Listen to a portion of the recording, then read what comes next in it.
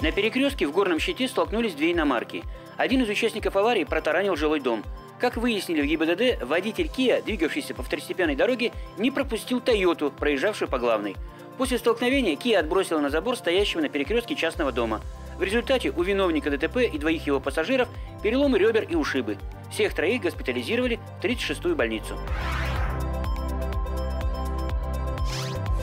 В Свердловской области завершается учебный год. Для первоклассников летние каникулы начинаются с 23 мая, для всех остальных – недели позже.